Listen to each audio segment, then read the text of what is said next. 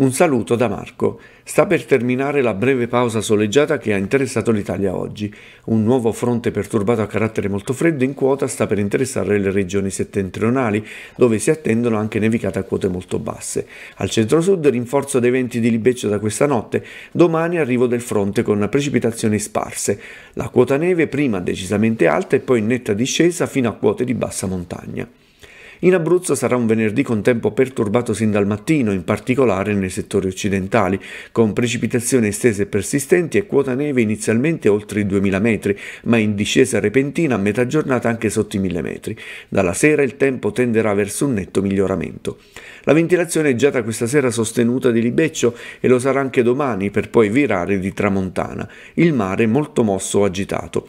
Temperature di questa notte elevate per il periodo con valori compresi tra 9 e 18 gradi, a metà giornata inizio della discesa e valori compresi tra 5 e 15 gradi. L'appuntamento con il meteo è per domani mattina. Buona serata.